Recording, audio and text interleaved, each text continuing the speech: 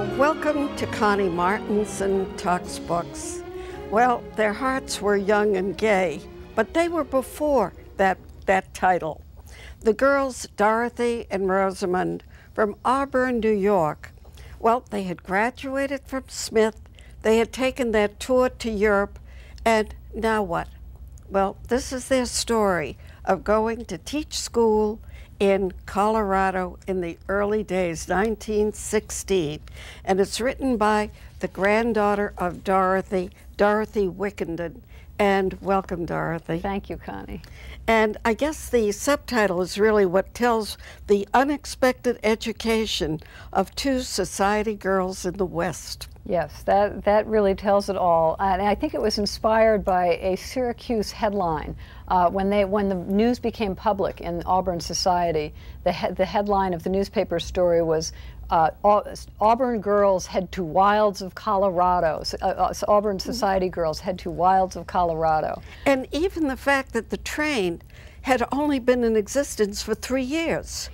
Yes, that's right. The train from Denver to Hayden, Colorado, which is where they were going, the train that went up and over the Rocky Mountains. And the hardest part of the journey was called Hell Hill, and it was it was so named because it was such a perilous uh, track to build. And the girls noticed this when they were on the train. They just, my grandmother said, I can't imagine how they ever did it. Yeah, and not only that, but their going there was like a Peace Corps for America. Yes, or, or Teach for America. Several people have said that yeah. before any of these organizations existed, of course.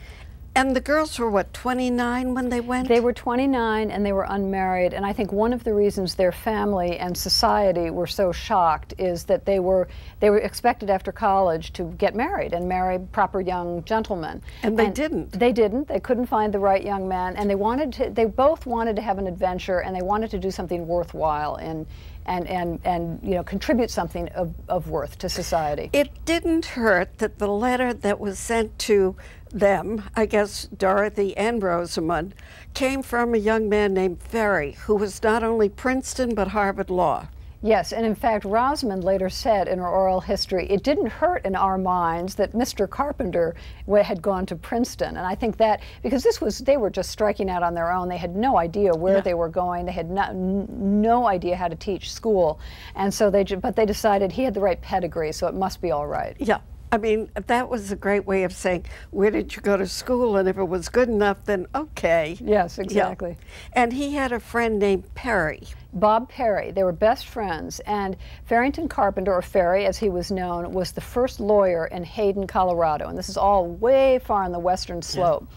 And his best friend, Bob Perry, who was the son of a very well known uh, Denver industrialist, was running his father's mine in a mining town, rough mining town called Oak Creek, which was 45 miles away. Yeah from Hayden, but they were best friends. And, uh, and then the story tells, begins to tell the story of their competition for Rosamond, yeah. this lovely young woman who arrived as if from nowhere, and uh, a very eligible young woman for these young cowboys. Oh, and not only that, but Dorothy doesn't tell them that she has met prior to going there the man who'll become her husband. That's right. And and Ferry Carpenter, who who hired them and who had helped to build, he had his law practice in Hayden, but the school he had helped to build the school, the Elkhead School in the mountains north of town.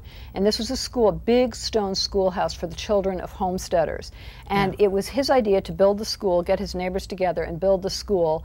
And he said he thought he could accomplish two things at once. So he didn't mm-hmm. tell the, the, these young women that the other part of this the scheme was to draw two cultivated Eastern girls out west, and they could serve as prospective brides for the cowboys mm. because there were no young women in Elkhead. So that was his his plot, and of course, all his his friends thought this was just wonderful.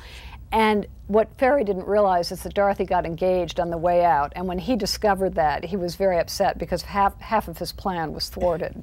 And not only that, but in order to choose the women, they ha had pictures of them and they would almost like dating today on uh, the internet. That's right. Well, he advertised before he hired them. He advertised that there were two teaching jobs, and he was paying fifteen dollars above the going rate because this was going to be a very, very fine school in the middle of Yeah. nowhere, on the top of a mountaintop.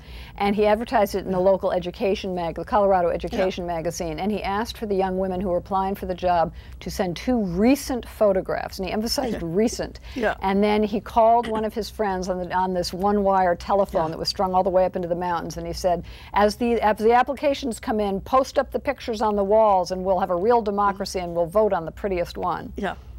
Well, now they get out there and it is rough. And when you think of two young women who had been a little spoiled back in Auburn, New York, where one's father was very wealthy, the other was fairly wealthy, and now they're there and their trunks and everything are put on the back of a truck Spring wagon. It wasn't even a truck. And going over the road and the bumps, it was, I mean, it was sort of a revelation. It was, and that was just the beginning of the revelation, Yeah. of course. And they just they had no idea what to expect really. They had gotten these letters from Ferry Carpenter, but the letters were full of enthusiasm about this adventure they were embarking on and these young children and they were going to be so wonderful. And they knew they were staying with it. He had chosen a family for them to stay with, a family of homesteaders, and he said they're wonderful people, but it isn't a real boar- boarding Yeah. house, it's their home. So when they got way up there after this 4-hour journey on this on this Mm. Yeah. wagon, uh, you know, they and they saw how Spartan it was. They they gulped, but they went. Spartan. they had to climb a ladder to get into their room, and not only that, in cold weather, snow would come into their bed. That's right. Well, there was obviously there was no heat, Yeah. there was no electricity, uh, no running water, and the, the water had to be brought hauled from a stream a quarter mile away. And it was a really really cold winter. It got down to 40 degrees below zero, and this wonderful woman, Mrs. Harrison, whom they lived with, who was the, their so-called landlady, mm. would heat up water on the stove in the morning and then bring it upstairs so that they could crack the ice in the pitcher that had formed overnight. And her son would get the two horses, gentle horses, for the women to ride to school, and he would escort them there and bring them back. Yes, and it was a two and a half mile ride, and it was a rough ride. I've been up there and I've ridden horses up there so I could get a sense of what this was like. And you go up and down these very steep, uh, they're mountains, uh, and there are no real landmarks, so they would have gotten lost if they had gone on their own. Did your grandmother, we should say your mother, uh, grandmother was the Dorothy of Yes. the group. Um, did she talk about this much as you were growing up? She did, and her stories just uh, uh, stayed in my mind and my brother's minds because every time she came to visit, she lived in Michigan and we lived in Connecticut, but every time she came, we'd say, Tell us about your year in Colorado. And she was a wonderful storyteller, evocative, and she could uh, imitate the dialect and all the rest of it. And it, of course, as you're growing up, this was the Wild West to us, and so it was absolutely irresistible. And years later, you found letters. Thank heaven she wrote the letters and they saved. I did. I found Yeah. them in the back of a desk drawer. My and I had forgotten about them. My mother had given them to me two decades earlier, and I knew that I wanted to read them someday. So I'd filed them away in the back of this desk drawer, and I was cleaning out the, the, the desk one day, and I found this this folder, and it said Wood, Dorothy Woodruff letters, 1916, 1917, Elkhead, Colorado, and I knew that's Yeah. what they were, and I realized I had never read them before, and I opened them up, and I realized again that I was in the hands of this extraordinary storyteller. Yeah. And She had, turned out to be a very witty and vibrant writer, as well as she was, you know, in her sort of oral presentation of the stories. And Rosamond had they her children had saved her letters also. Well, that proved to be more difficult because, of course, once I found my grandmother's letters, I wanted to find Rosamond's too, Yeah. and I knew that she had written home as well because Dorothy had mentioned Roz will write about this, and I'm going to write about this. So I, co- I contacted uh, her surviving children and all of the grandchildren, and no one knew where they were. And it took there was only one possible place. One of the grandsons said, "Well, there's some boxes in storage in a friend's house in Norwalk, Connecticut. I've never gone through them. There's some papers of my mother's. Possibly they're in there. It's unlikely." And after a year or so, I finally convinced him to join me in this in, in this attic. But it sounded like they were a little suspicious of you, what you might find, because they said, well, you had to wait till they sent a lawyer or someone for you no, to that wasn't it. exactly it. The grandson uh, who met me at the house was Yeah. a lawyer himself, and Yeah. I think he was just he was he just thought I was going on a wild goose chase. He didn't think I'd ever find the letters, and frankly, I didn't. I thought my chances were Yeah. very slim as well. But there they were, and they were all typed, and um, they'd been typed by Rosamond's mother as, as, they came in, and she numbered them, and there was a stack of them, and they were all in order, just waiting to be oh, found. Isn't that amazing? Well, now we get the two young women there, and the room that they're teaching in is able to be divided into two classes. Dorothy got the younger ones, Rosamond got the older ones. Yes, and this was by plan. They had decided before they left Auburn that Dorothy would get the younger ones because she was a, she was terrible at math and she wasn't so sure about her Latin. So Roz agreed to take the older children, yeah. and they divided them roughly in half. And so my yeah. grandmother's class was consisted of ten boys and one little girl, and the bo- they ranged ranged in age from six to thirteen, and these were rambunctious boys. So not only did she have to learn how to teach on the fly, yeah. she had to learn how to discipline these these kids.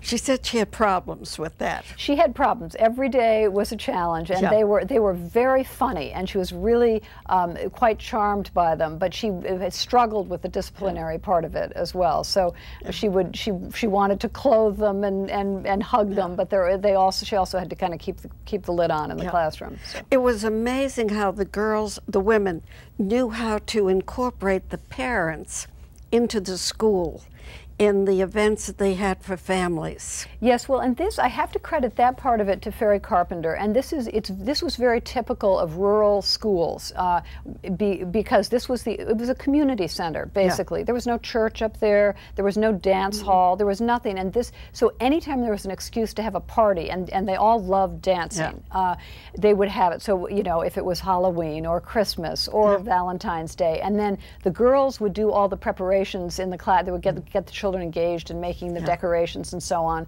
And then the families would bring food, and they would they would all gather at the schoolhouse, and the parties always lasted all night because it was too perilous to travel after dark. Yeah, well, uh, money was short for the families around there, and yet they always could come up with something for the school. They could, and it just, you know, an amazingly touching story. You know, some of the children uh, my grandmother wrote had nothing but cold potatoes for lunch in the middle yeah. of the winter.